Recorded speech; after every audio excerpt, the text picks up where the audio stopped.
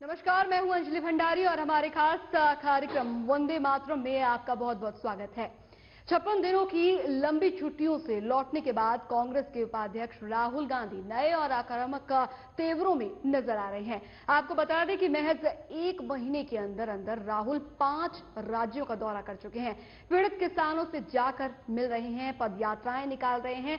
राहुल के इस नए अवतार से जहाँ एक ओर पार्टी में खुशी की लहर है, वहीं दूसरी ओर उन्हें पार्टी अध्यक्ष बनाए जाने को लेकर भी अटकलें तेज होती दिख रही हैं। हमारे आज के खास कार्यक्रम वंदे मातरम में आज हम इसी पर चर्चा करेंगे कि आखिर क्या वजह है कि पार्टी अध्यक्ष को लेकर इतनी असमंजस की स्थिति कांग्रेस के भीतर बनी हुई है। और इसी चर्चा में हमारे साथ ठाकुर धीरेन्द्र सिंह जी, जो कि कांग्रेस नेता है, वो हमारे साथ इस चर्चा में जुड़ेंगे। आपका बहुत बहुत स्वागत है, सर। साथ ही साथ हमारे साथ लखनऊ से विजय कुमार सिंह, जो कि सपा नेता है, वो भी हमारे साथ इस चर्चा में जुड़ेंगे। तो चलिए शुरुआत करते हैं वंदे मातरम की।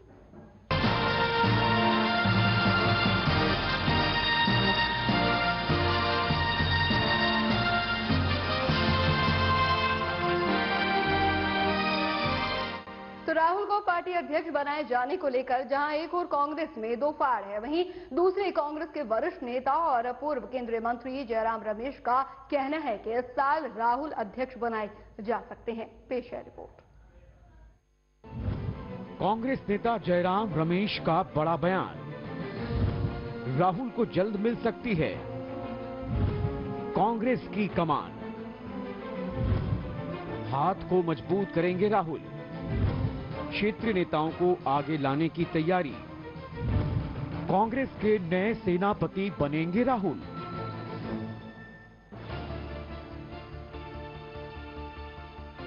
छप्पन दिनों की लंबी छुट्टियों से लौटने के बाद, जहाँ कांग्रेस के युवराज नए और आक्रामक तेवरों में नज़र आ रहे हैं, वहीं राहुल को अब पार्टी का अध्यक्ष बनाए जाने को लेकर भी अटकलें तेज होती दिख रही हैं। जहाँ बीते दिनों राहुल को अध्यक्ष बनाए जाने को लेकर पार्टी में दो फाड़ बन गई थी।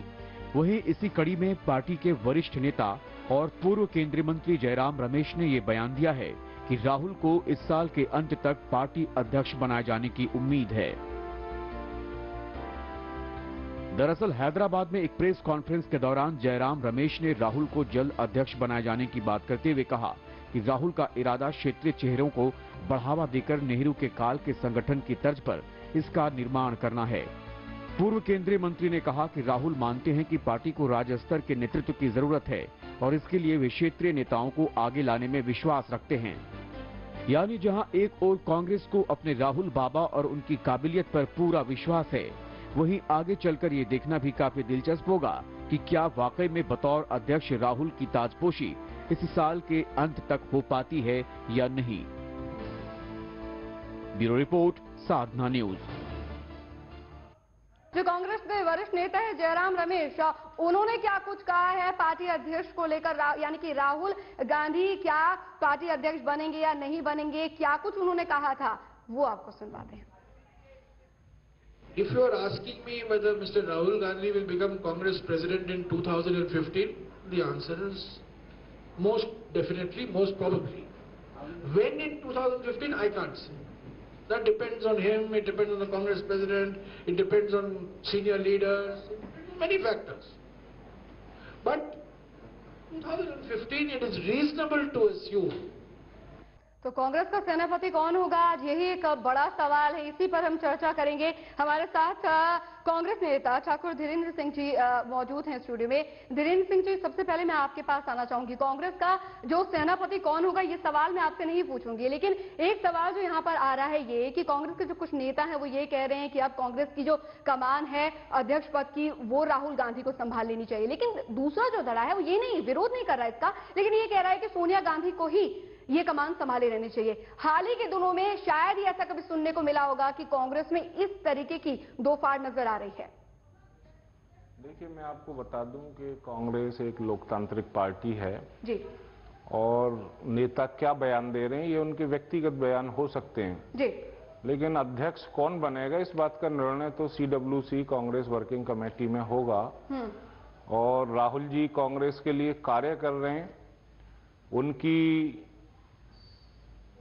जो शैली है कार्य करने की और उनमें जो योग्यता है उसके बारे में आज पूरा देश देख रहा है। जिस तरीके से उन्होंने किसानों के मुद्दे जी। मजदूरों की समस्याओं को राष्ट्रीय स्तर पर उठाया है बिल्कुल। और उनके घरों में जाकर उनकी समस्याओं से रूबरू होकर वो मौजूदा सरकार से उनकी भलाई के लिए अ, काम किए जाने की बात कर रहे हैं। जी। तो आने वाले समय में अगर राहुल जी अध्यक्ष बनते हैं तो ये तो तय करेगी वर्किंग कमेटी हमारी। जी।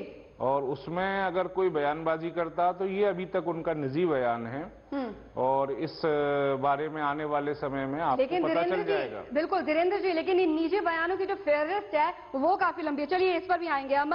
विजेंद्र कुमार विजय कुमार जी माफ़ कीजिएगा विजय कुमार जी हमारे साथ जुड़े हुए हैं लखनऊ से। विजय कुमार जी आपकी प्रतिक्रिया चाहूँगी नेतृत्व को लेकर कांग्रेस में नेतृत्व को लेकर कि कौन अध्यक्ष बनेगा पार्टी का इसमें असमंजस की स्थिति बनी हुई है। आपकी क्या कुछ प्रतिक्रिया है? देखिए अंजलि जी ये इनके पार्टी का मुद्दा है। हम्म। इनके पार्टी का सिस्टम है कि अध्यक्ष कौन बने राहुल बने या कोई और बने जी। इनका विषय जी। रही बात राहुल जी अब इस समय कोई मुद्दा नहीं है इनके पास कोई विचार नहीं है इनके पास। हम्म। उत्तर प्रदेश में आने के लिए अभी भाई वीरेंद्र जी कह रहे थे कि किसानों की बात लेकर चले किसानों का मुद्दा उठाए। बिल्कुल। ये बड़ा विषय बहुत बड़ा विषय है और ये गंभीर विषय भी है जब सरकार में रहे जब सत्ता में रहे हम्म। जब केंद्र में इनकी सरकार रही हम्म। तब कोई किसानों का दर्द नहीं पूछता है। जी। आज उत्तर प्रदेश में सरकार समाजवादी पार्टी की है नौजवान मुख्यमंत्री है किसानों के दर्द को समझते हैं और किसानों के दर्द को पूरी तरीके से बांटना चाहते हैं। हम्म। अंजलि जी मैं कहना चाहता हूँ राहुल जी आए हैं अभी यूपी में अमेठी में गए। बिल्कुल। अमेठी में घूमकर आए। हाँ। किस किसान के घर पर गए? आज बड़ी विषय की बात है। चाहे वो प्रधानमंत्री जी रहे हो आपने देखा वो देश का दौरा कर रहे हैं।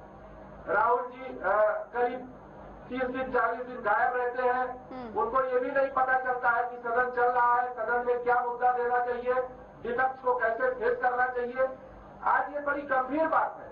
लोग मीडिया के जी सामने आकर बयान विजय कुमार जी विजय कुमार जी। बात उत्तर प्रदेश विजय कुमार जी बात उत्तर प्रदेश की की जाए लेकिन एक बात तो साफ़ है ना कि इन छुट्टियों से वापस लौटने के बाद जिस आक्रामक रूप में दिखे हैं राहुल गांधी वो क्या चिंता का विषय समाजवादी पार्टी के लिए बन सकता है क्योंकि भूलना यहाँ पर ये नहीं होगा क्योंकि 2017 में विधानसभा चुनाव होने वाले हैं जी जो भी समाज जो भी लड़ेगा वो समाजवादी पार्टी से लड़ेगा जी। 2017 का विषय है कांग्रेस से कोई मतलब नहीं हम लोगों का। हम्म। कांग्रेस कोई विषय ही नहीं है। गरीबों के घर खाना खाने से और गरीबों के यहाँ चले जाने से एक घर में इनका विषय नहीं बन जाएगा। ये ये ये यहाँ पे उत्तर प्रदेश में नहीं हावी हो सकते।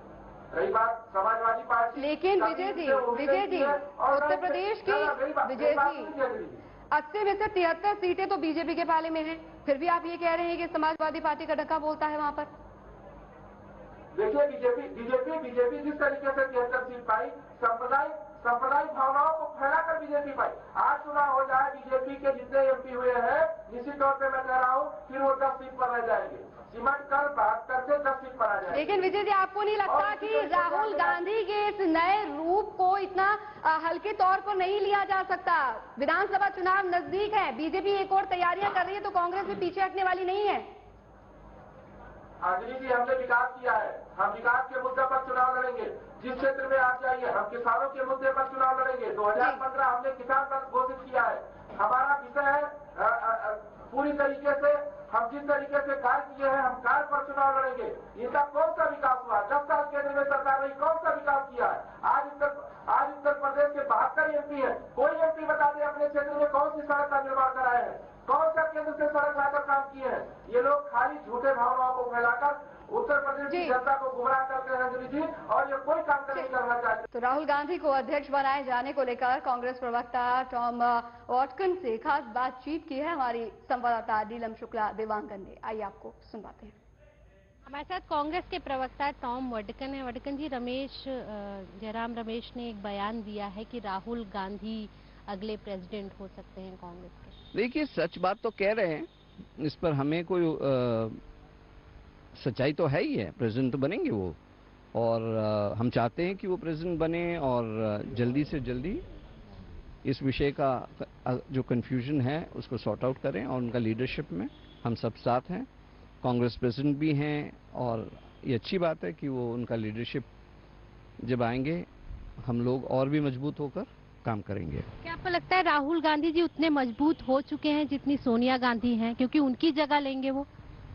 देखिए सोनिया गांधी जी राहुल जी हमारा शक्ति है हमारा प्रेरणा है।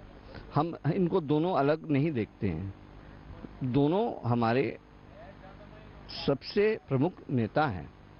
तो हम कोई कोशिश नहीं करेंगे कि दीवारें बिल्ड कर करें। ये दोनों हमारा शक्ति है। तो इस शक्ति को हम मज़बूत रखेंगे और मैं समझता हूँ राहुल जी हो या सोनिया जी हो पार्टी को मज़बूत ही करेंगे। तो फिर ज़रूरत क्या है बदलाव की? अगर दोनों एक ही हैं तो फिर बदलाव की ज़रूरत क्या है? मैं रिएक्ट कर रहा था कि आपके स्टेटमेंट में अगर आपने कहा उन्होंने कहा तो हम सब चाहते हैं कि राहुल जी प्रेसिडेंट बने और इस इसी चीज़ पर मैं रिएक्ट कर रहा था। साफ़ है सभी की हसरत यही है कि राहुल गांधी अगले अध्यक्ष बने कांग्रेस के लेकिन इसके लिए राहुल गांधी कितने तैयार हैं इसका जवाब राहुल गांधी ही दे सकते हैं। और हमारे साथ इस वक्त वरिष्ठ पत्रकार अवधेश कुमार जी भी हमारे साथ इस चर्चा में जुड़ गए हैं। अवधेश कुमार जी आपके पास आना चाहूँगी मैं। प्रॉब्लम क्या चल रही है पार्टी के भीतर? कांग्रेस के भीतर आखिर क्या प्रॉब्लम चल रही है पार्टी अध्यक्ष को लेकर?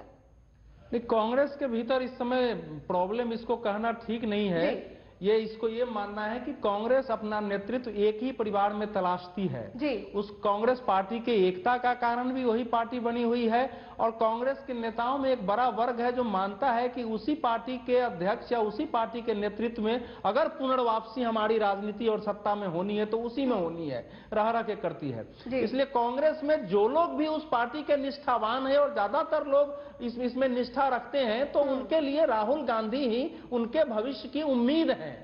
या अगर राहुल गांधी नहीं है प्रियंका गांधी नहीं है सोनिया गांधी नहीं है तो कांग्रेस का मतलब यहाँ पूर्ण विराम फुल स्टॉप हो जाता है। लेकिन जो जो समस्या थी वो ये थी कि जब कांग्रेस 2014 में अपने जीवन की सबसे बुरी पराजय का शिकार हुई तो पहली बार उस परिवार के खिलाफ जगह जगह आवाज़ उठे केरल से आवाज़ उठा राजस्थान से उठे गुजरात से उठा यूपी तक से उठा तो ऐसा लगा कि शायद इस परिवार की महिमा स्वयं अपने कार्यकर्ताओं के अंदर गिर रही है। जी। तो उसमें से कई नेताओं पर कार्रवाई हुई है और कार्रवाई के बाद धीरे धीरे वो स्थिति ठीक हुई है। हम्म। तो जो ये कहा जाता था पहले कि राहुल गांधी को विपक्ष में आने के बाद आगे बढ़ के नेतृत्व करके और दिखाना चाहिए कि उनके अंदर कांग्रेस को संभालने की क्षमता है।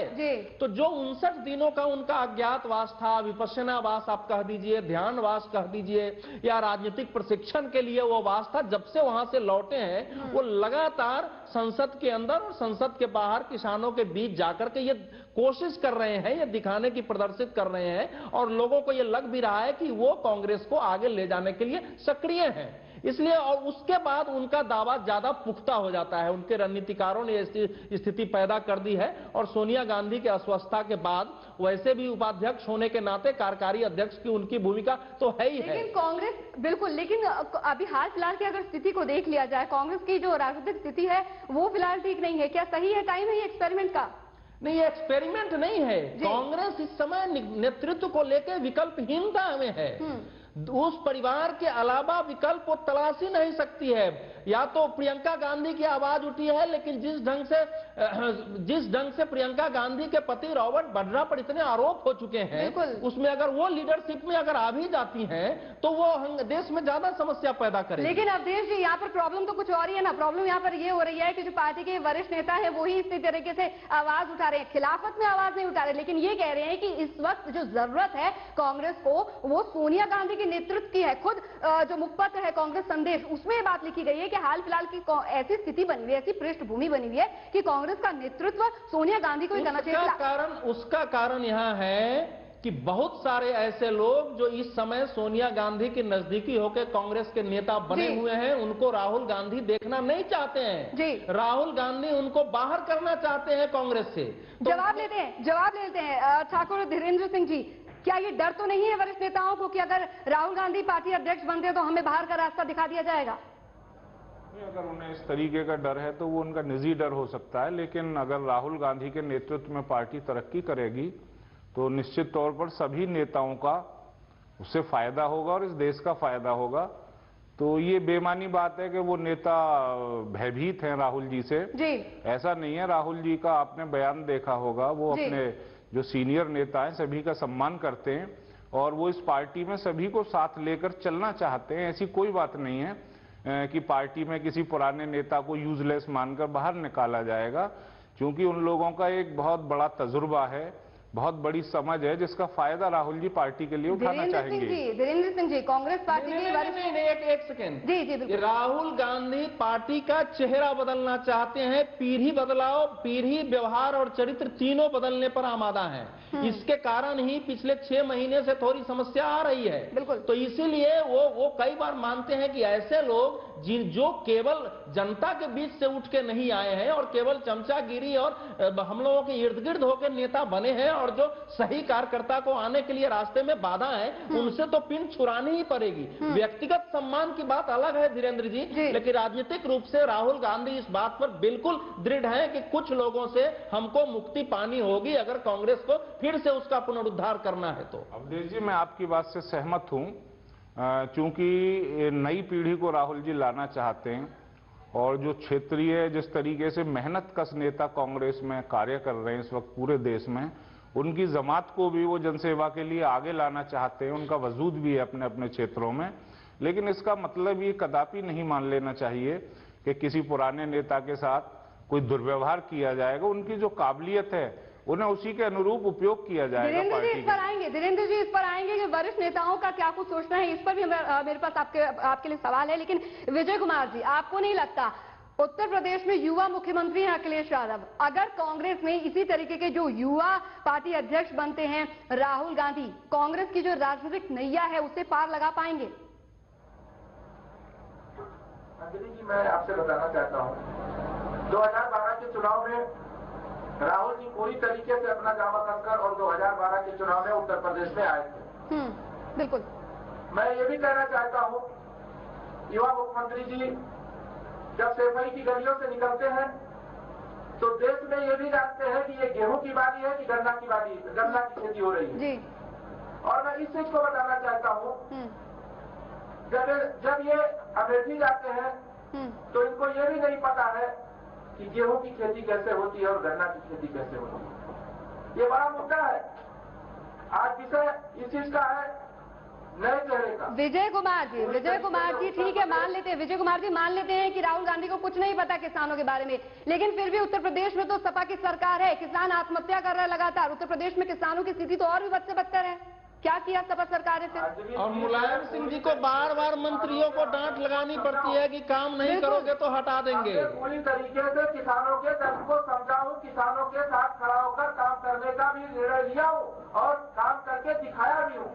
चाहे जो भी रहा हो किसानों के साथ उत्तर प्रदेश विजय कुमार जी विजय कुमार जी आप विजय कुमार जी मान लेते हैं आपकी बात कि नहीं पता राहुल गांधी को किसानी के बारे में लेकिन लगातार वो अब तो उत्तर प्रदेश की आप बात कर रहे हैं लेकिन राहुल गांधी की बात की जाए जगह जगह जाकर हरियाणा हो चाहे तेलंगाना हो जगह जगह जाकर वो किसानों से मिल रहे हैं मुलाकात कर रहे हैं उत्तर प्रदेश में शामिल है उसमें फिर। अंजलि जी ये आज आया है जब सरकार थी इनकी जब दस साल की सरकार थी तब नहीं याद आया। जब किसानों के ऊपर आफत आई तब ये बाहर थे आपने देखा है जब किसानों के ऊपर आफत आई तब ये बाहर थे जब ओले पड़ रहे थे बरसात हो रही थी और किसान आत्महत्या कर रहे थे तब ये बाहर थे। आज तक याद आया है? आज इनको याद आया सरकार। है? इनको चलिए, मुद्दे पे मुद्दे पे वापस आइए। हालाँकि सपा सरकार ने क्या किया है किसानों के लिए, वो भी एक अलग ही विषय है। अवधेश कुमार जी ने भी एक सवाल पूछा था कि लगातार जो सपा सुप्रीमो है, वो भी अधिकारियों को फटकार लगाते रहते हैं, तमाम मंत्रियों को फटकार लगाते रहते हैं कि काम ठीक से करो। तो ये भी माना जाए कि जो युवा मुख्यमंत्री के तौर पर अखिलेश यादव वहाँ पर बैठे हुए वो भी काम ठीक नहीं कर रहे फिर तो। आप राहुल गांधी की बात कर रहे हैं।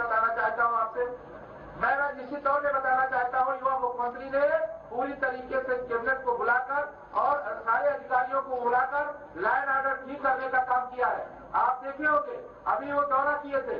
चलिए, दोनों- उत्तर प्रदेश में। विजय जी महिलाओं पर सबसे ज़्यादा अपराध उत्तर प्रदेश में दंगों का रिकॉर्ड उत्तर प्रदेश में लूटमार सबसे ज़्यादा उत्तर प्रदेश में। चलिए। क्या बाह आप कह रहे हैं कि कानून और व्यवस्था कानून पर बिल्कुल। हूँ। अरे इस समय हमारे नोएडा में बजाबता गाड़ी रोक के बलात्कार बिल्कुल विजय जी बात मुद्दे से भटक रहे हैं। यहाँ पर बात यहाँ पर कांग्रेस की चल रही है। कांग्रेस पार्टी अध्यक्ष भी यहाँ पर चल रही है। मुद्दे से नहीं भटकेंगे।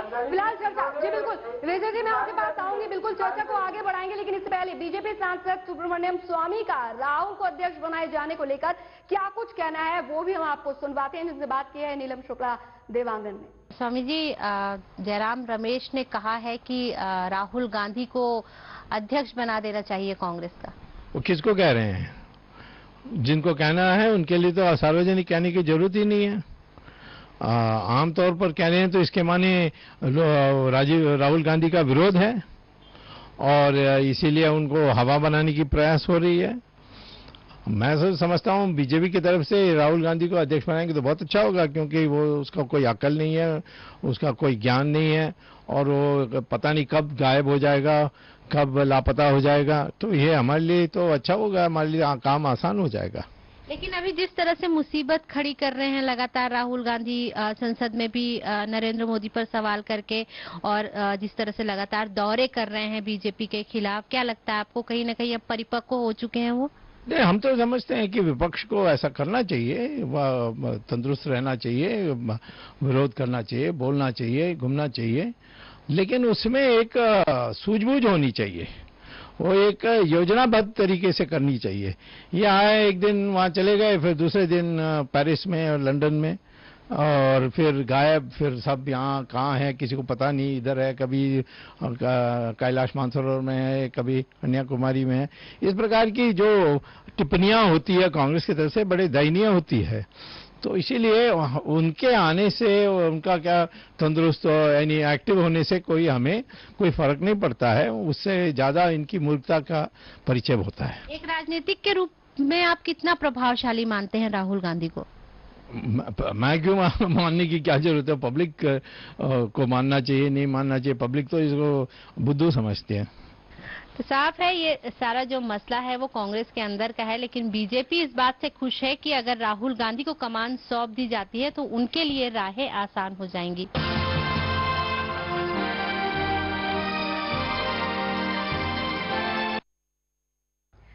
अवधेश जी आपके पास आऊँगे। आप मुस्कुरा रहे थे सुब्रमण्यम स्वामी की इस प्रतिक्रिया पर लेकिन धीरेन्द्र सिंह जी राजनीतिक सूझबूझ नहीं है राहुल गांधी में। बीजेपी को इससे कोई फ़र्क नहीं पड़ता कि पार्टी अध्यक्ष राहुल गांधी को बनाया जाए नहीं बनाया जाए। देखिए सुब्रमण्यम स्वामी जी ने जो कहा कि उन्हें फ़ायदा होगा अगर राहुल गांधी जी अध्यक्ष बन जाते हैं। तो ये उनकी मानसिकता को दर्शाता है। राहुल गांधी एक ऐसा व्यक्तित्व है इस देश के लिए जिस पर कोई भ्रष्टाचार का आरोप नहीं है। जिस तरीके से वो ईमानदारी से अपनी पार्टी को चलाना चाहते हैं और जिस तरीके के लोगों के माध्यम से इस देश को आगे ले जाना चाहते हैं अगर ऐसे बेदाग छवि वाले आदमी पर भी लोग इस तरीके की अनर्गल टिप्पणियाँ करेंगे तो मैं समझता हूँ ये स्वस्थ लोकतंत्र के लिए अच्छा संकेत नहीं है। और मैं विजय प्रताप जी से भी पूछना चाहूँगा कि इस प्रदेश में सैकड़ों की तादाद में सदमे के कारण किसानों ने अ, मर गए या तो वो या उन्होंने आत्महत्याएँ की। जो लोग सदमे के कारण मारे गए अपनी फ़सल के नुकसान को देखकर इनकी सरकार ने उनको क्या मदद की है ये क्या मुझे बता पाएँगे इस बात को? और जहाँ तक इन्होंने किसानों को पक्षधर बताया कि ये समाजवादी सरकार किसानों की बहुत पक्षधर है इन्होंने चुनाव से पहले वादा किया था किसानों से कि सरकार आते ही ये छह गुना मुआवजा बढ़ाकर किसानों को देंगे और उन्हें सारी सुविधाएँ देंगे। इन्होंने किसानों को क्या सुविधाएँ दी है? मुझे आपका एक जवाब आज ले मैं लेंगे, सुनना चाहता हूँ उनके जी बिल्कुल आपका जवाब ले लेंगे हालाँकि किसानों का यहाँ पर मुद्दा नहीं है। मुद्दा यहाँ पर यह है कि कांग्रेस पार्टी का अध्यक्ष पद को लेकर जो घमासान मचा हुआ है जो संशय मचा हुआ है कि आखिर राहुल गांधी को पार्टी अध्यक्ष बनाया जाना चाहिए या नहीं बनाया चाहिए इसी पर आज हम चर्चा कर रहे हैं। अवधेश कुमार जी आप जिस तरीके से सुन रहे थे कि सुब्रमण्यम स्वामी ने कहा कहा कि राजनीतिक सूझबूझ नहीं है ये बात उन्होंने कही है। लेकिन उससे पहले मेरा एक सवाल है। 1977 की अगर बात की जाए इमरजेंसी के बाद जब लोकसभा चुनाव हुए थे, उस दौरान देखा गया था, हालाँकि इंदिरा गांधी जैसा जो चेहरा है, आज अगर बात की जाए तो वो कांग्रेस के पास नहीं है। लेकिन उस दौरान, अगर याद है, उस दौरान कांग्रेस ने अगर बात की जाए तो किसानों का ही सहारा लिया था। खुद जो इंदिरा गांधी है, वो किसानों के साथ खड़ी रही थी। और आज की अगर स्थिति देखी जाए, जब कांग्रेस के लिए राजनीतिक पृष्ठभूमि ढूंढना काफ़ी मुश्किल साबित हो रहा है, आज भी वही स्थिति शायद दिख रही है। यानी कि इतिहास अपने आप को दोहरा रहा है, ये कहना सही है? इसको इतिहास की पुनरावृत्ति तो मैं नहीं कहूँगा क्योंकि 80 में 77 में पराजय के बाद जो कांग्रेस की स्थिति थी वो दूसरी थी आज दूसरी है। इस समय देश में जितने दल हैं उस समय इतने दल थे नहीं। इस समय जिस प्रकार से हमारे देश में भूमंडलीकरण के और संचार क्रांति के बाद जितनी जागरूकता आई है और जितनी आसानी से बातें पहुँचती हैं और मीडिया जिस ढंग से एक एक विषय को लेकर बहुत सारी स्थितियाँ उस समय नहीं थी। तो इसलिए दोनों में अंतर है। आज एक साधारण आदमी भी एक एक नेता का पूरी संवीक्षा जो कहते हैं ना वो करता है कि इनकी क्या क्या गतिविधि है। तो सुवर्णिम स्वामी देखिए राहुल गांधी के नेतृत्व की क्षमता अभी जो है उसका परीक्षण नहीं हुआ है। बिल्कुल। लेकिन जहाँ जहाँ उन्होंने कमान संभाला चुनाव में विधानसभा चुनाव में ज़्यादातर जगह उसमें कांग्रेस की पराजय हुई। उत्तराखंड जैसे एक आध राज्यों को छोड़ दें अगर। तो उसमें वो सफल नहीं हुए हैं। और पिछले दो साल में चौदह चुनावों में कांग्रेस की पराजय हो चुकी है राहुल और सोनिया गांधी के रहते हुए। इसलिए मैं उस पर बात नहीं कर रहा हूँ कि राहुल के आने से कांग्रेस का उद्धार हो जाएगा। जी। मैं केवल ये कह रहा हूँ कि कांग्रेस के पास राहुल सोनिया और प्रियंका उस परिवार के बाहर कोई विकल्प नहीं है क्योंकि कोई इस समय कांग्रेस की एकता बनाए रखने वाला या जनता में जिसकी किसी रूप में पहचान हो ऐसा नेता कांग्रेस में बचा ही नहीं है। जब आप एक परिवार पर नेतृत्व के रूप में रह जाते हैं। तो धीरे धीरे लीडरशिप का उभरना खत्म हो जाता है। तो कांग्रेस वहाँ पहुँच गई है। राहुल गांधी में यह है कि वो इस चीज़ को बदलने की कोशिश कर रहे हैं। जी बिल्कुल। धीरेन्द्र सिंह जी आपसे इसका जवाब लेंगे, लेकिन उससे पहले 1977 की यहाँ पर बात चल रही थी, उस दौरान जब हारी थी इंदिरा गांधी, उन्होंने एक बात यहाँ पर कही थी, उन्होंने कहा था कि मुझे लगता था कि नेतृत्व का मतलब होती है ताकत। लेकिन बाद में उन्होंने ये बोला कि अब मुझे पता चला चुनाव हारने के बाद कि नेतृत्व का असली मतलब होता है जनता को साथ देखकर चलना। लेकिन अगर आज की कांग्रेस की बात की जाए तो आज उसी नेतृत्व को लेकर घमासान मचा हुआ है। देखिए जहाँ तक आप 1977 की बात कर रही हैं वो और समय था अभी अवधेश जी ने बताया।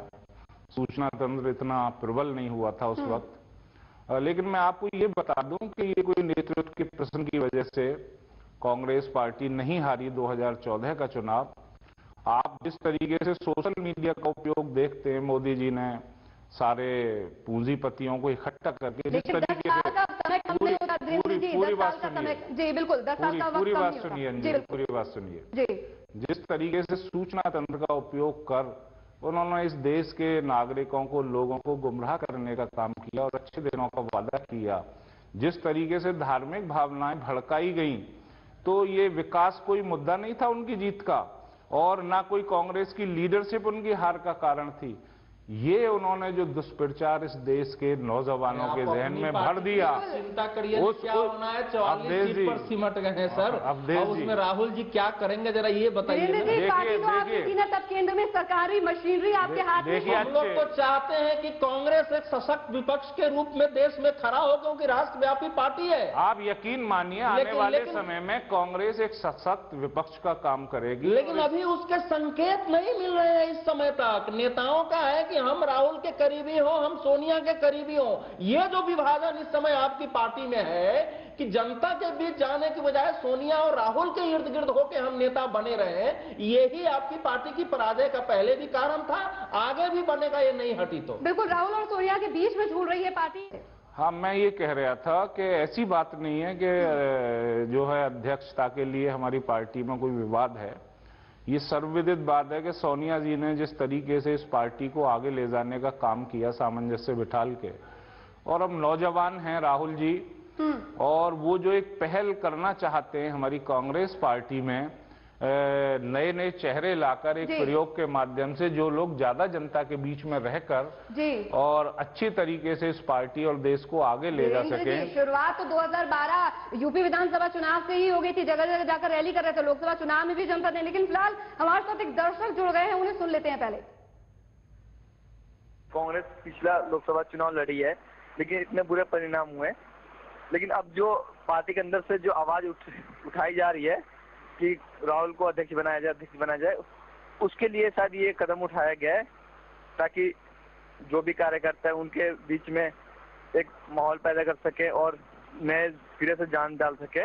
अवधेश जी, आपके पास आना चाहूँगी। राहुल गांधी पर चर्चा चल रही है, लेकिन लगातार ये भी बात सामने आ रही है कि कुछ जो नेता हैं, कांग्रेस के वरिष्ठ नेता हैं, उनका कहना है कि अभी इतनी राजनीतिक सूझबूझ नहीं है, अभी उन्हें अपना तजुर्बा बढ़ा लेना चाहिए। लेकिन बहरहाल राहुल गांधी की अब बात चल रही है। 28 दिसंबर 2014 कांग्रेस का स्थापना दिवस। राहुल गांधी मौजूद नहीं। बात बजट सत्र की हो, तब भी वो मौजूद नहीं। भूमि अधिग्रहण बिल पर चर्चा हो, तब भी वो मौजूद नहीं। आपको नहीं लगता कि इन गंभीर विषयों पर और इस तरीके के कार्यक्रमों में उनका रहना, पार्टी नेताओं से मिलना बेहद ज़रूरी है? पूरे पूरे पिछले पाँच वर्ष के लोकसभा में उन्होंने केवल एक भाषण दिया था और एक प्रश्न पूछा था। अनुपस्थिति का रिकॉर्ड उनका सबसे ज़्यादा था। बिल्कुल। तो ये सारी चीज़ें तो उनके साथ जुड़ी ही हुई है लेकिन उसकी भरपाई करने की वो कोशिश कर रहे हैं। इस समय जो वो ट्रेनिंग लेके आए हैं बाहर से जो उनके रणनीतिकार हैं उन्होंने कहा है कि अब बिल्कुल इसलिए और लगातार देखिए पाँच छह भाषण उनके इतने कम दिनों में लोकसभा में हो गए इंटरफेयर कर दिया कुछ शब्द कांग्रेसियों को दे दिए सूट बूट की सरकार अब पता नहीं वो कितना चलेगा। तो वो एक ट्रेनिंग लेके आए हैं। इस समय वो दिखाने की कोशिश कर रहे हैं कि हम इस समय वो राहुल गांधी नहीं है जिसको आपने 2014 में देखा था। अब एक बदला हुआ राहुल गांधी आपके साथ है। अब वो बदले हुए राहुल गांधी को देश कितना स्वीकार करेगा? राज्यों के चुनाव में राज्यों की जनता कितना स्वीकार करेगी? ये देखना होगा। मेरी नज़र में अभी तक राहुल गांधी और कांग्रेस ने ऐसा कुछ नहीं किया है। जो विचार के आधार पर, नेतृत्व के आधार पर और कार्यक्रम के आधार पर जो एक भ्रम कायम था, वो दूर हो जाए। वो स्थिति अभी तक हुई नहीं है। केवल एक उम्मीद बनी हुई है कि शायद राहुल गांधी के नेतृत्व में थोड़े बहुत चेहरे का परिवर्तन होगा और कांग्रेस शायद शायद उठने की ये कोशिश करेगी। अवधेश जी, देश की बात तो बाद में, लेकिन पहले पार्टी तो एक मत हो कि हाँ भाई राहुल गांधी को पार्टी अध्यक्ष बनाया जाना चाहिए। लेकिन बहरहाल बढ़ते हैं आगे। साथ ही आपको बता दें कि राष्ट्रीय युवा मोर्चा के अध्यक्ष और बीजेपी से सांसद अनुराग ठाकुर से खास बातचीत की ही संवाददाता नीलम शुक्ला देवांगन ने। आइए आपको दिखाते हैं। हमारे साथ भारतीय जनता युवा मोर्चा के अनुराग ठाकुर हैं। राहुल राहुल गांधी को प्रेसिडेंट बनाए जाने की बात की जा रही है क्या कहेंगे ये कांग्रेस कांग्रेस का कांग्रेस- का अं- अंतरिम निर्णय है। उनको जो करना है वो कर कांग्रेस जहाँ चौवालीस सीटों तक सीमित हुई है आगे कांग्रेस को कहाँ जाना है कि कांग्रेस को तय करना है कोई सच बोलने वाला लाएँगे तो अच्छा होगा जो तैयारी करके आता है तो अच्छा होगा। राहुल गांधी जी को मेरी शुभकामनाएँ। अमित शाह जी के पैरलर खड़े होंगे राहुल गांधी कितना आते हैं उनके सामने? देखिए अमित शाह जी ने भारतीय जनता पार्टी को दुनिया का सबसे बड़ा संगठन बनाया है। लगभग 11 करोड़ हमारे सदस्य बनने वाले हैं। और यही नहीं महासदस्यता अभियान के बाद महासंपर्क अभियान में लोगों तक पहुँचने, संपर्क करके उनको सक्रिय कार्यकर्ता बनाने की बात करते हैं। भले राहुल गांधी जी खुद तो सक्रिय हो जाए धीरेन्द्र सिंह जी, आपके पास आना चाहूँगी। आप ही की पार्टी के जो वरिष्ठ नेताओं में से एक है, अमरिंदर सिंह। कैप्टन अमरिंदर सिंह, उनका ये कहना है कि अगर राहुल गांधी पार्टी के अध्यक्ष बनाए जाते हैं तो उन जैसे कई वरिष्ठ नेताओं को पार्टी से किनारा करना पड़ेगा। क्या भी आप ये ये उन्होंने कहा है लेकिन जहाँ तक मैं राहुल जी को जाना हूँ जिस तरीके से किसान आंदोलनों में हम उनके साथ रहे तो ऐसी कोई मंशा राहुल जी की नहीं है। मैं आपसे बार बार आग्रह कर रहा हूँ कि किसी को बेइज्जत किया जाए। हम्म, अमरिंदर सिंह हमारे बहुत बड़े नेता हैं पंजाब के और उनकी बहुत ज़रूरत है इस पार्टी को।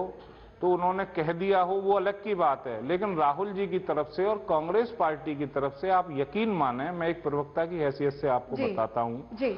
कि ऐसी कोई बात नहीं है किसी बड़े नेता को परेशान होने की ज़रूरत नहीं है। हम्म, राहुल जी का जो रूप आज की तारीख में आप देख रहे हैं वो रूप आगे भी कायम रहेगा और वो इस पूरे देश की जो समस्याएँ हैं और जिस तरीके से वो लोगों के बीच में जाकर उन्हें समझने का प्रयास कर रहे हैं और अपनी पार्टी को उन समस्याओं से जोड़कर इस देश में एक नई क्रांति लाना चाहते हैं ऐसा नहीं है कि कांग्रेस पार्टी मुद्दों से भटक रही है।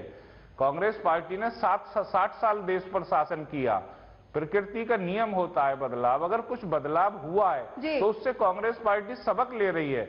और आने वाले समय में कांग्रेस पार्टी जो कमियाँ रही होंगी भविष्य भूत में उन्हें भविष्य में सुधार करके पूरी तरीके से एक नए रूप में इस देश के सामने इसी प्रश्न को आगे बढ़ाऊँगी, अवधेश जी। मेरा सवाल जो था, शायद आप यहाँ पर समझ रहे हैं, जो धीरेन्द्र जी ने भी कहा कि उस दौरान राहुल गांधी मौजूद नहीं थे। यानी कि सोनिया गांधी ने किस तरीके से पूरे विपक्ष को एकजुट कर ये मार्च निकाला, ये गुड़ तो शायद राहुल गांधी में है नहीं या सीखना चाहिए उन्हें।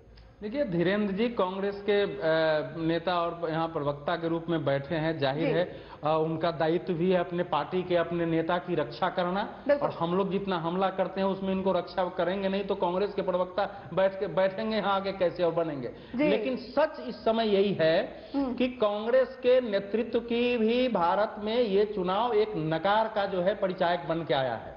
1999 में भी भारत के लोगों ने कांग्रेस को नकारा ही था। बिल्कुल। कांग्रेस कि अब उसके बाद से कोई बहुमत इस देश ने नहीं दिया है। राज्यों में लगभग कांग्रेस साफ़ हो चुकी है हम्म। तो इस समय पार्टी के पुनर्निर्माण की की, की, की, की, की जो है ज़रूरत है। अब राहुल गांधी में कोई मेरे को आके कह दे कि वो क्षमता है कि वो पार्टी को वहाँ से खड़ा करके पुनर्निर्माण कर देंगे तो मैं इस समय उसको स्वीकारने के लिए तैयार नहीं हूँ। यद्यपि मैं अभी भी कहता हूँ कि भारतीय जनता पार्टी के समानांतर एक राष्ट्रव्यापी सशक्त विपक्ष की हमको आवश्यकता है कांग्रेस के अलावा दूसरी पार्टी दिखती नहीं है लेकिन राहुल गांधी उसकी ऐसी स्थिति कर देंगे उसमें मुझे संदेह है और जो आप कह रहे हैं देखिए उस समय भी कभी वो कलावती के घर में जाते थे कभी वो उत्तर प्रदेश के दलितों के घर में जाकर ठहरते थे राजस्थान में मनरेगा के मजदूरों के साथ काम करते हुए रोटियाँ खाते थे। ऐसा नहीं है कि वो पहली बार कर रहे हैं। ये सब काम राहुल गांधी पहले भी कर चुके हैं। यहाँ तक कि जो इंग्लैंड के विदेश मंत्री था उसके साथ आकर के उन्होंने एक दलित के घर में जाकर के और वो रहे थे उत्तर प्रदेश में ही। बिल्कुल।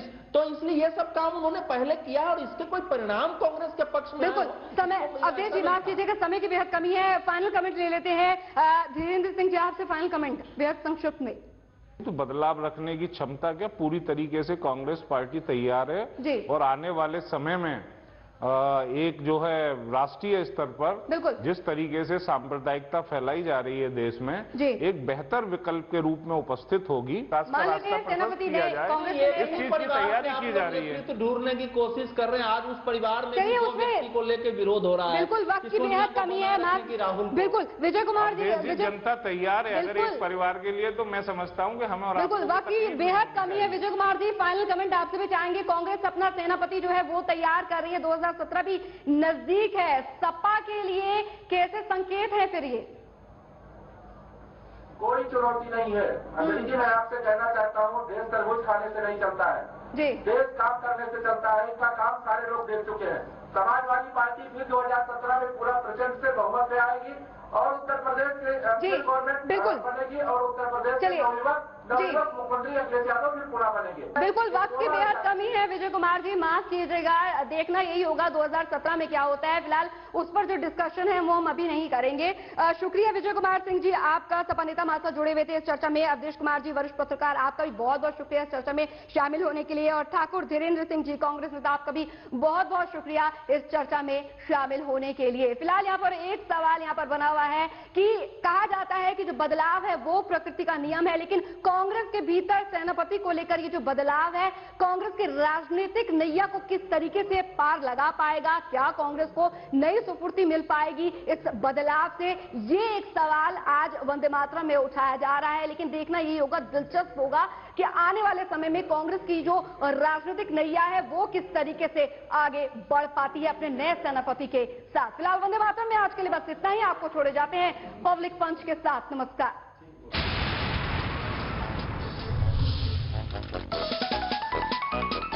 दिल्ली के उपराज्यपाल का नाम नजीब जंग है और केजरीवाल जी के लिए बस इतना ही काफ़ी था।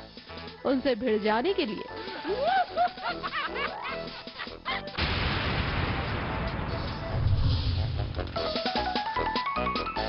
राहुल गांधी ने कहा, मोदी विदेश में मस्ती मारते हैं और मैं किसानों का दर्द समझने के लिए थाईलैंड तक जाता हूँ।